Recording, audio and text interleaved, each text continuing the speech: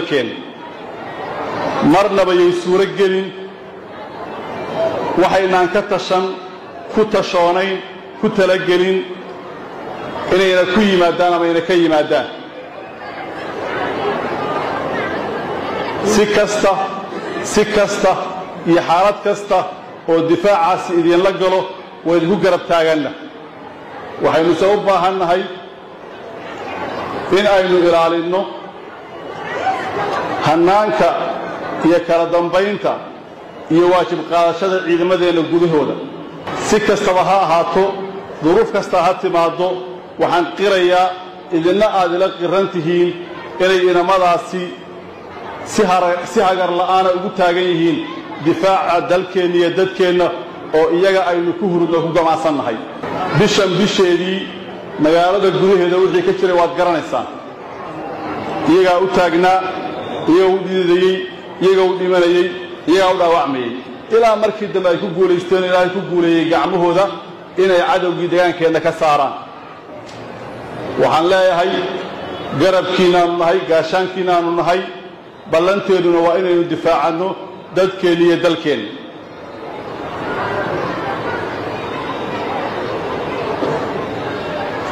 Waxaynu u baahan nahay ka bulsho ahaan ka mujtamac ahaan ka ummad ahaan inaynu ilaalinno midnimadeenna iyo wada jirkeenna waxayna kala qaybiyaa ina kuma iman. Waxaynu isku khilaafna inama dhex yaallaan. Duruuftii shalay aynu xabbadda iyo baaruudda ugu badrheedhnay weli kamaynaan bixin. Weli kamaynaan bixin.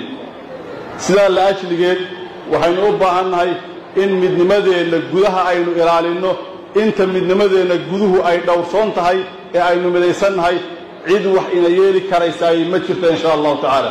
Wax kasta oo dhaca mawaaqifta masiiriga ah ee dadkani ay gaadheen ee ku tashadeen dib uga noqon mayno kana shakiyi mayno fulinteeda iyo hirgelinteeda waxaynuse u baahan nahay wixii aan masiirka ummaddeenna waxyeelayn wixii aan mustaqbalkeenna mugdi gelinayn ee inugu yimaadee kala aragtiduwanaana inaynu isuga tanaasulno tanaasulkaasaa lagu ilaalin karayaa oo keliya midnimadeenna haddii ninkii wax qoonsadaaba qoor u baxo haddii ninkii wax tawdaaba uu goonni isu taago haddii khilaafkeenni iyo kala shakigeenni soo noqdo waxaynu ku soconno waa garanaynaa iyo meeshaynu tegayno inaynu isu tanaasulno isu dulqaadanno isqancinno wada hadallo baa midnimadeenna lagu ilaalin karayaa oo keliya. Ummad wada jirtaa guulaysata ummad isku duwan baa guulaysata ummad wada socotaa mustaqbalkooda wada hagaajista. Arrimaha dhaqaalaha iyo dakhliga cashuuraha horena anoo mimbarkan joogaan ka hadlay maantana waa ku celinayaa. Maantana waa ku celinayaa dowladnimada macnaheedu waxa weeyaan xuquuq iyo waajibaad. Maamulka xuquuq iyo waajibaad buu leeyahay. Shacabkuna sidoo kale xuquuq iyo waajibaad bay leeyihiin. Halkaa marka la joogo dakhliga iyo cashuuraha koruqaadistooda idina xuquuq baad leedihiin. Annaguna aanu leennahay waajibaad baad leedihiin maamulkuna leeyahay waajibka laydinku leeyahay waxa weeyaan inaad la shaqaysaan hay'adaha dakhli ururinta iyo cashuuraha. oo aad bixisaan cashuurta laydinku leeyahay.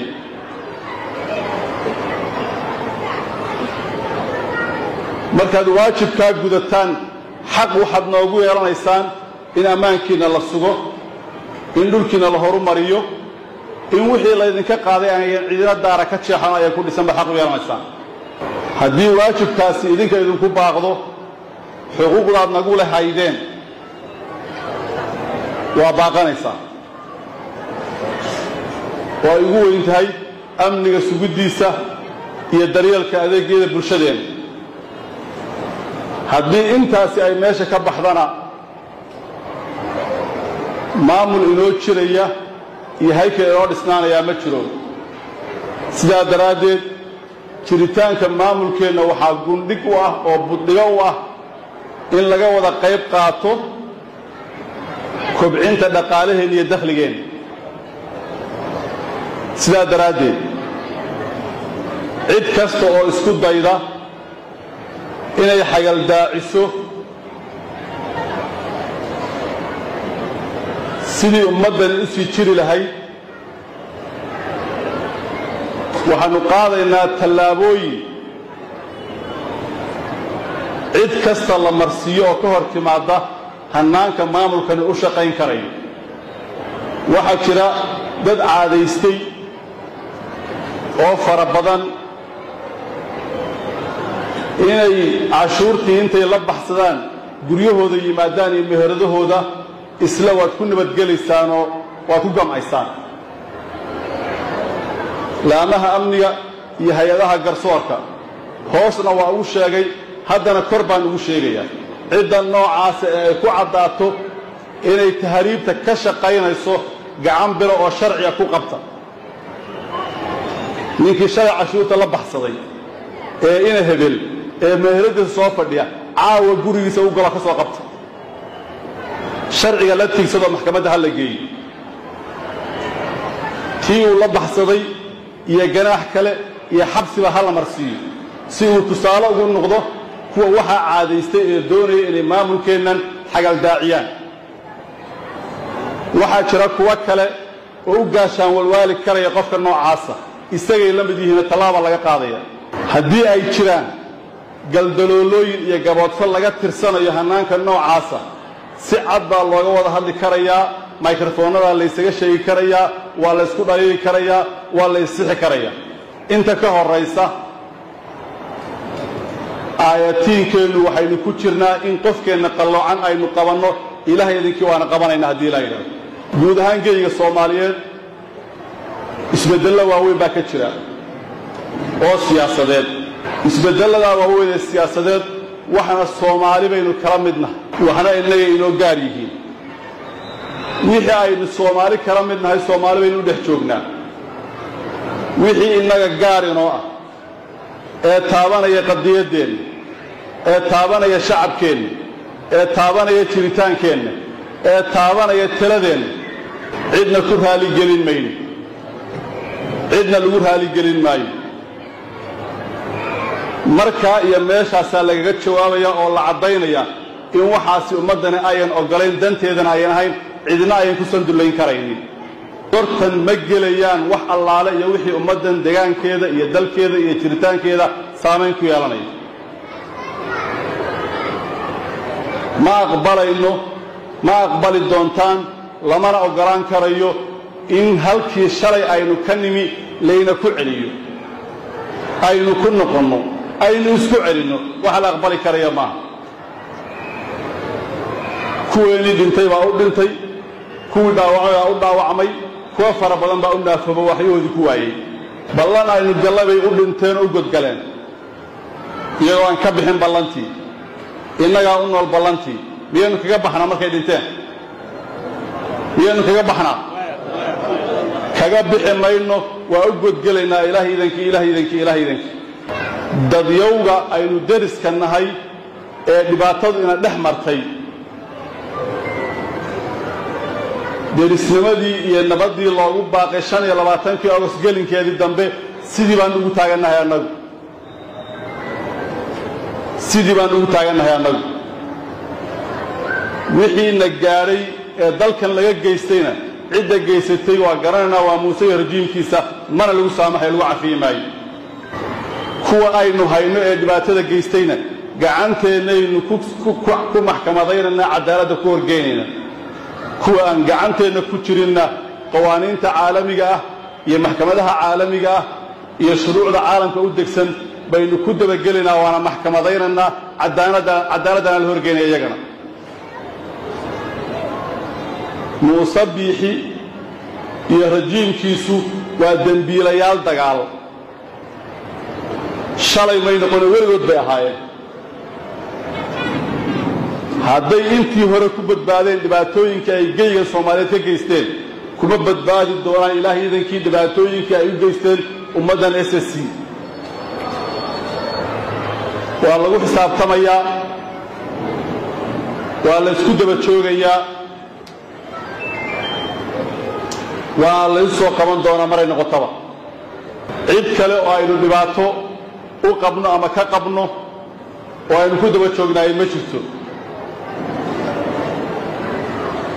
haddii layna dilay layna barakiciyey layna dhibaateeyey xabaalaheennii bateen kuwii waxaa samaynay baa ilaahay subxana wa tacaala dhabarkooda gacanteenna soo geliyey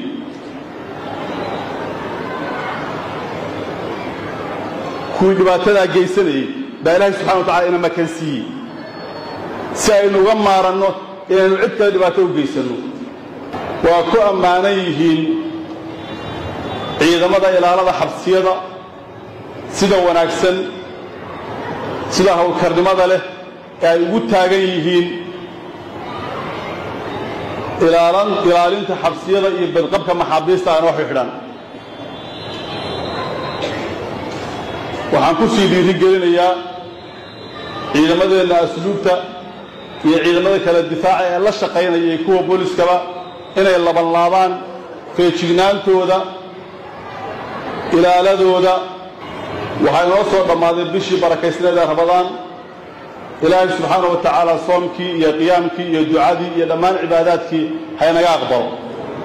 Ilaahay subxaana wa tacaala waxaan weydiisanaynaa inuu asmino kale iyo xilliyo soo socdoo fara badan nabad inagu gaadhsiiyo si aynu mawaasimta cibaadada ee ku jirta uga faa'iidaysanno insha allahu tacaala ciiddan ciiddeeda ilahay waxaan ka baryayaa inaynu nabadgelyo ku ciidno iyo barwaaqo iyo xasillooni ilaahay subxaana wa tacaala haynaga dhigo kuwa diinkiisa iyo dariiqiisa ku toosan. Ilaahay subxaana wa tacaala waxaan weydiisanaynaa nabadgelyo waarta xasillooni waarta iyo barwaaqo. Ilaahay subxaana wa tacaala waxaan inoo weydiinayaa roob caajil ah oo ina deeqa oo aan ina dhibaataynin baan ilahay inoo weydiinaya ilaahay subxaana wa tacala waxaan leenahay ilaahuna dooji ilaahu raxmaadkaaga noo shub ilaahu nimcooyinkaaga nagu irsaaq ilaahu khasaa'intaada noo fur ilaahay subxaana wa tacaala waxaynu ka baryaynaa aakhiriya adduun labada daaroodba inuu noo ku roonaado wasalaamu calaykum waraxmat ullaahi wabarakaatu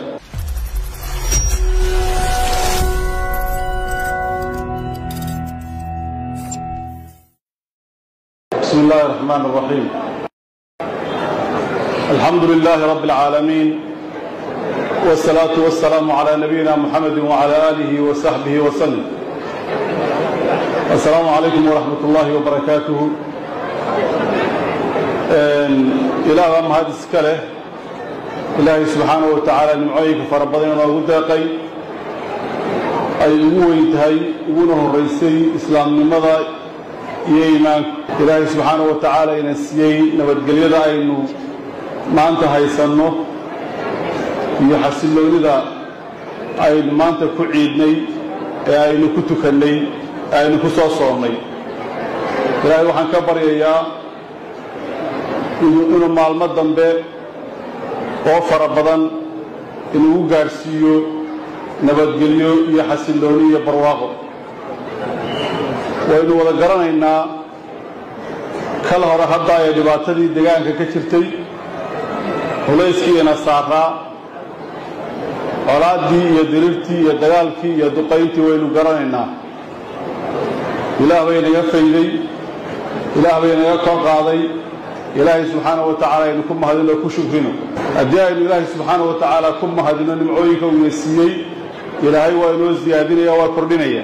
Haddaynu ilaahay subxaana wa tacaala ka abaaldhacno oo aynu ka abaalgadno nimcooyinka uu ina siiyey ilaahay subxaana wa tacaala waa inoo ciqaabayaa acmaasheenna iyo wixii xumaana aynu geysanaayo intaas kadib waxaan rabaa inaan dhowr qodob aan tilmaamo oo ku saabsan wadciga guud ee degaanadeenna iyo xaaladda aynu ku sugannahay maanta. Xaaladda maanta aynu ku sugannahay degaankeennu waxaa weeye xaalad nabadgelyo iyo amni aynu haysanno weeyaan. Amniga gudaheenna iyo magaalooyinkeenna xasilooni weyn baa laga dareemaya. Faldambeeyeedyo waa dhacayaan.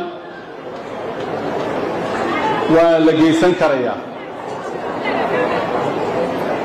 laakiin waxaa ilaahay mahaddiisa ciddii faldambiyeed ku geysata magaalooyinkeenna iyo degaankeenna ma ahaana soxuran taliiqa. Cid ku nabadgelaysa dembiga ay geysatay oo bulshadii iyo ummaddii dhibaatada loo geystay ku dhex joogaysaa ma jiri doonto ilahay idankii waa ku ammaanaya waana ku bogaadinayaa laamaha amnigu sida aan kala go-a lahayn ee isdaba joogga ah ee ay amniga ugu dadaalayaan uga hortegayaan dhibaato in la geysto uga daba tegayaan ciddii wax geysataa xalay baa u dambaysay saacadihii u dambeeyey howlgallay ku jireen dembiilayaal bay ku daba jireen. Dembiyaday geysteen ay ku jirteen dil ay geysteen. Ilaahay waa u fududeeyey waa ku guuleeyey waa soo qabteenay.